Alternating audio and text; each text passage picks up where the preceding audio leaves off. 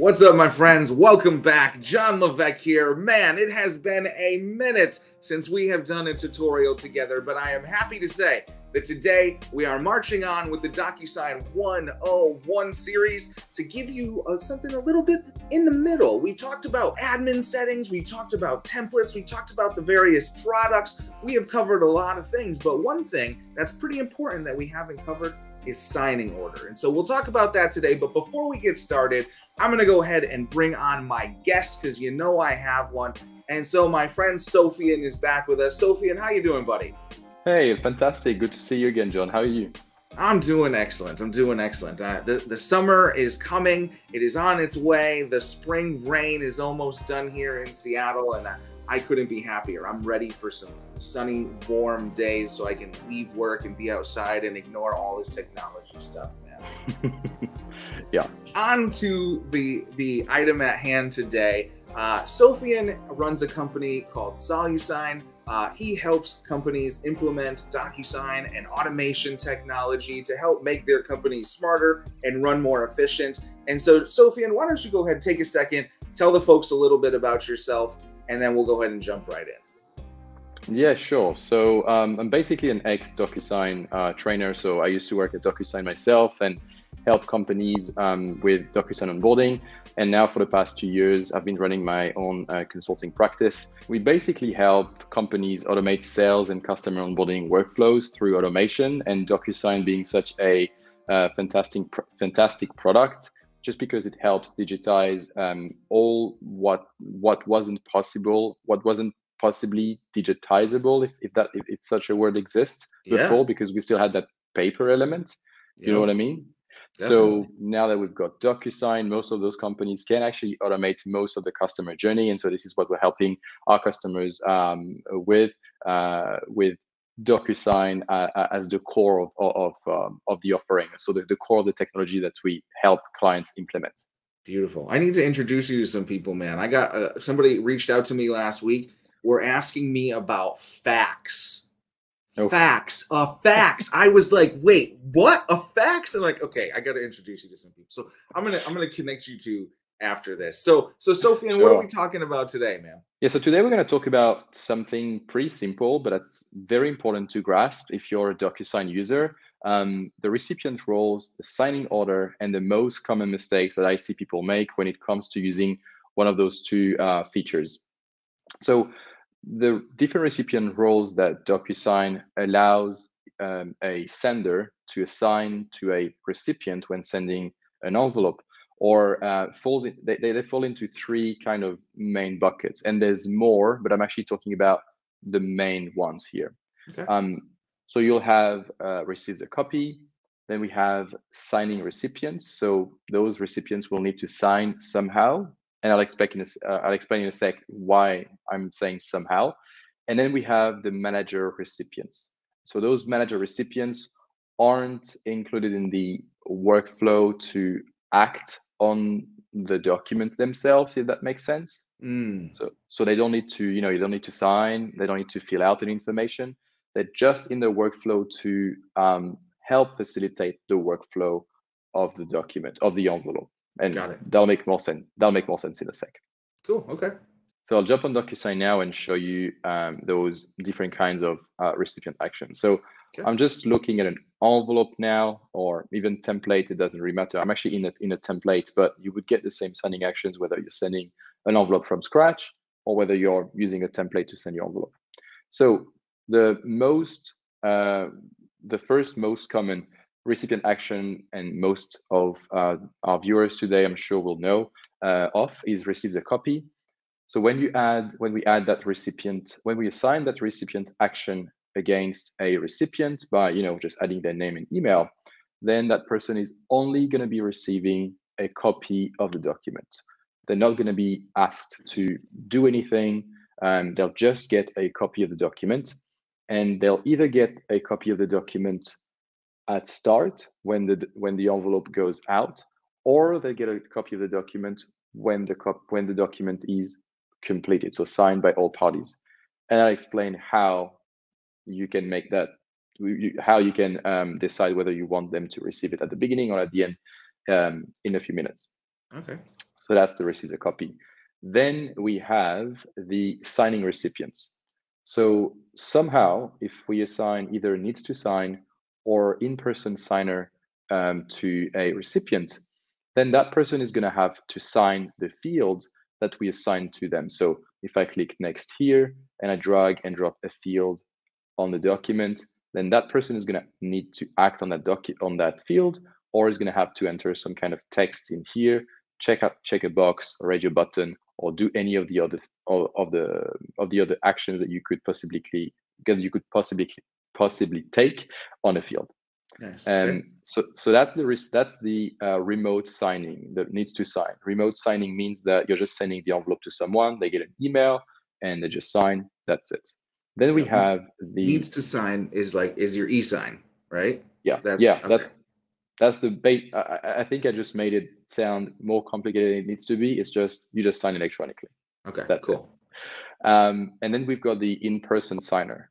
So with in-person signer, we need um, we're basically telling the software that um, that person needs to sign, but that person is going to sign in the physical presence of the sender of the envelope. So let's just say that a sales rep is um, is, is prospecting clients and um, at their home with his laptop, just opens the laptop and he can facilitate the signing ceremony with his computer.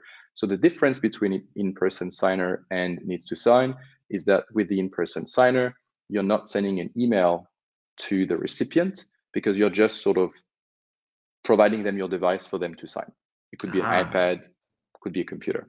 So this is a good distinction. So in-person signer is still an electronic signature. It is just here I am turning the device to you to hit the button rather than me sending it to you in some form. That is correct. Okay, cool. Exactly. Cool. Good to know. Good to know. So now that we've ran through the signing uh, recipients, let's just uh, cover the managing uh, manager recipients. So we've got specify recipients allowed to edit and update recipients. So if we assign a specify recipient action to a recipient, we're basically allowing that recipient to provide contact information for the person who actually needs to sign. So for example, if you um, if we needed um, a client to add their signature to a contract, but we weren't really sure whether the client is the CEO, the VP of sales, or I don't know, someone in marketing. You'd basically um, assign the specify recipient um, action to someone who would have that information. So that could be, I don't know, um, the, your main your main contact when you're trying to close that deal, and then that person would receive the envelope and would be prompted when they open the envelope to provide information for that recipient here.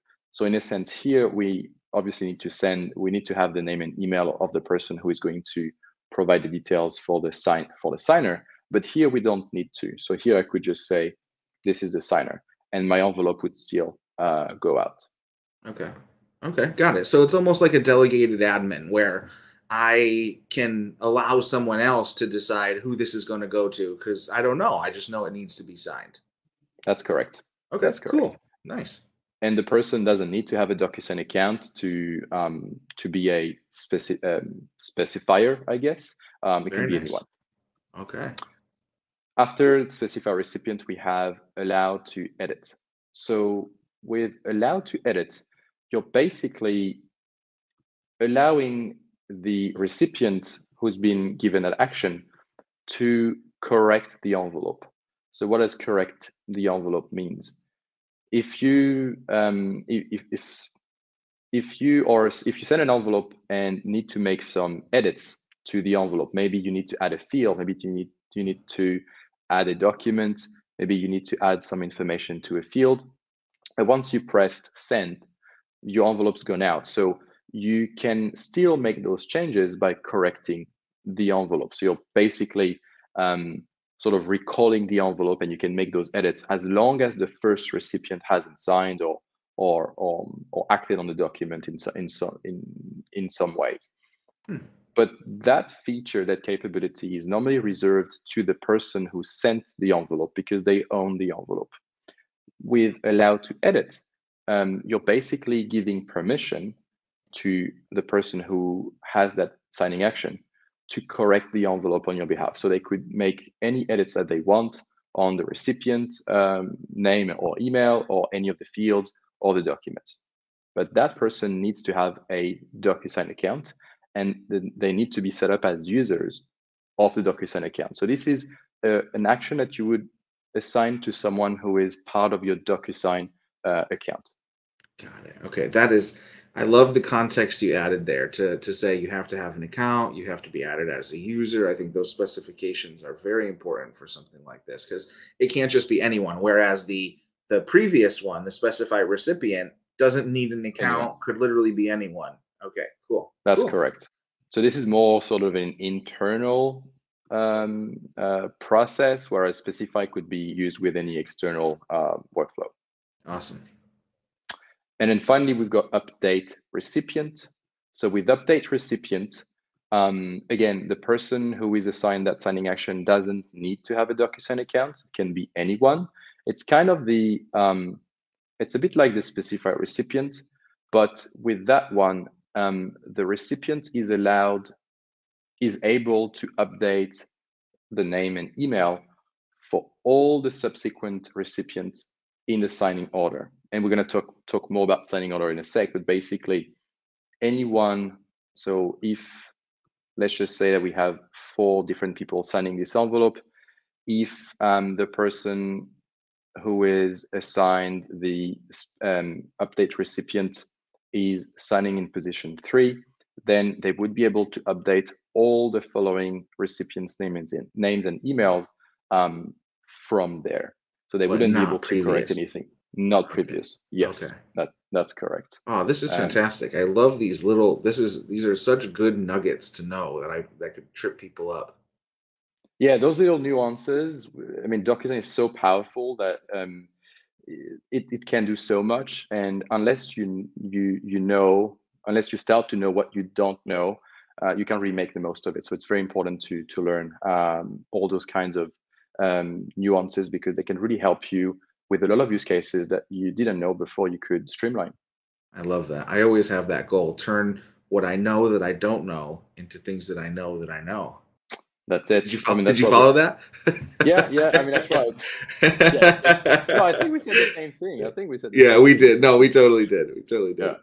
Cool. Okay. Um, so so those are the main signing um, actions. There's also signs with notary, signs with witness. Um, not going to touch on those um, in this particular video, maybe in, a, in another one. And the last one um, that I actually forgot to talk about because it's so rarely used. I mean, I, I haven't really seen it being used with um, with any of my clients actually. It's needs to view. So if you assign the needs to view action to a recipient, um, the recipient will need to open the envelope and hmm. confirm that they viewed the envelope to for the for the envelope to be for the workflow to progress or for the envelope to complete. So it's different if you compare this with receives a copy. This is a completely sort of passive action. It's you're just being CC'd in something. Needs to view is you don't need to act on the document, but you do need to open the envelope. And this hmm. this is going to be captured in the audit trail, of course, that someone's actually opened the documents. It's fantastic. Thank you. I appreciate all these, all this clarity on these. This is great. No worries. Um, so now that we've touched on the signing actions, um, we should talk about signing order. So why is signing order so important? Uh, basically, well, first, what is a signing order? So with a signing order, you can decide how who is going to see the documents in what order. And it's two types of signing order. We've got the uh, sequential signing order, and we've got parallel signing order. So by default, if you don't check that little box that's here, which is but it's a bit confusing because on my account, I've set the signing order by default, but in, in most accounts, by default, you don't have a signing order, then you are um, you're just being you're just going to, your recipients are going to, to receive the document in parallel, meaning that if you send an envelope to five people, they are all going to receive the document at the same time. Mm. But if you don't want that, and most of the time you don't, because if you have multiple people signing, you would want maybe a first person signing because you only want the second person to sign once the first person has signed. Then yeah. you want to use a signing order, and that's what we call a sequential signing order. You know, I so, wonder why they would set it by default to be parallel when most things I think require sequential. And not a question for you, just a general no. thought I'm throwing out there. Something I should ask the team probably. Yeah, I think you, I think yeah. that's a question for you. yeah. yeah, I'm gonna, I'm gonna take that one to the team. okay, okay, okay. I'll follow up. Um, so yeah, so by default, it's going to be turned off. So you want to make sure you check that box if you do want to, to control who is going to sign and, and in what order. It's basically super simple. Um, you just, as you add more recipients in your list, um, then you want to use the numbers here to decide um, in what order people are going to receive the envelope. And so you could have two people signing at the same time. I mean, not technically at the same time, but they will be receiving the documents at the same time. So we could have, let's just say that you are um, doing business with, you're sending a contract to, or let's just take a loan, a loan agreement, for example.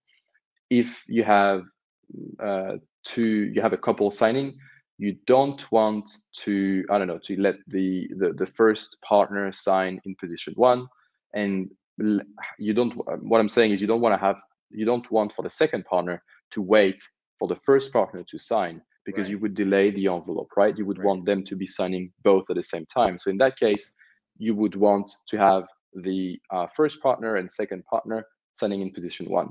But oh. you might want to have the, I don't know, the salesperson or the banker or whoever is issuing the loan sign counter signing in position two. So you can do a mix of parallel and sequential by playing with the numbers to decide. That's beautiful. That was actually going to be my question. Actually, was can I insert a parallel step somewhere in a sequential action? And you just nailed it. So thank you. Awesome. Okay, that's that's very cool. Uh, yeah. And funny enough, it happened to me recently because I was uh, I, I bought a house not that long ago, and we did it all through DocuSign, and uh, there were those moments where it was all just to me, and I had to sign first, and then there were those moments where it would show up for both of us, and I wondered like, ah, I wonder, I wonder how they're doing this. So that's okay, great to know. Super easy, super easy yeah, to do. Yeah. Yeah. Um, and so, why is the signing order super important? It's important because, um, I mean, if you do set a signing order, it's important to think about the visibility of the field. I'll explain. So I've just set up Bob and Sam as two different recipients real quick. And I want to um, illustrate why the signing of the, the, the signing order is so important because what ha- what happens is that it affects who will be able to see what. So if we assign a field to someone, um, let's just say that we were to assign a field to, um, let's just say we had three recipients actually. I think it will make more sense. We have Bob and Sam and Kim. So if we don't add a signing order, actually, if we just have everybody signing at the same time, Bob might only want to sign if Kim has signed. And so Bob might want to be able to see what Kim has filled out in the form before he adds his signature on the document. And if Bob is unfortunately actually signing, physically signing before Kim, he's not going to be able to see Kim's fields.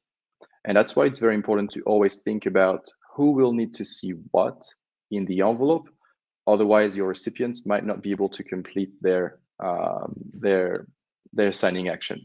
Right. And so, like practically speaking, what that means is like if if Kim is signing a purchase order, or or let's say if Bob is signing a purchase order, he wouldn't go and sign it before Kim filled out how much the invoice was, right? He needs that's, some that's information. Right. And so the signing order is very important because Bob's going to be sitting there waiting and Kim is going to be sitting there waiting too, but they're out of order. And so it'll never progress properly because the signing order was incorrect and the information that someone needed to make that decision wasn't flowing properly. That's exactly right. And so if you ever need to add a field for the first recipients, but you don't want them to be able to touch the field, but you do want them to see that information because otherwise they're not going to sign, what you can do is to just play with the read-only option.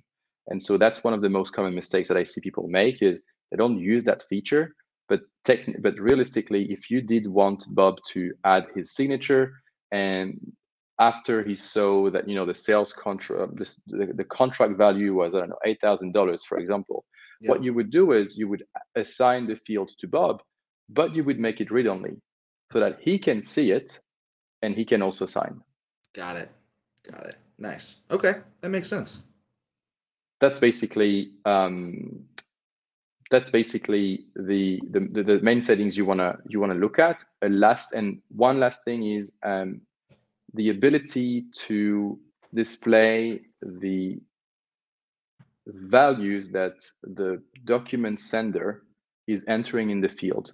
So let me let me give an example. Sometimes you want to pre-fill the form so that your signers don't have to. Mm -hmm. And again, if you have multiple recipients in that form, some fields will be assigned to uh, Bob, some field will be assigned to Sam, some field will be assigned to Kim. But if you want all these people to be able to see the values that you've pre-filled for Bob, Sam, and Kim at the time they open the envelope, what you want to do is, well, the, signing order is going to affect who sees what, because if they signed, if they're supposed to sign after someone else, they won't see that someone else's field. So what you want to do is you want to go to the sending settings and you want to turn on that checkbox here, which is, which is somewhere here.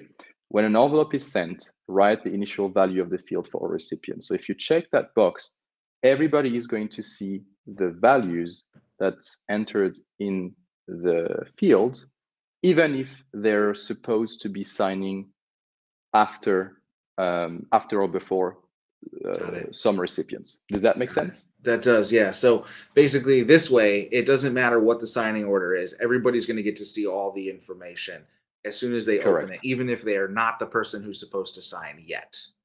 That is correct. Exactly cool. right. Okay, nice.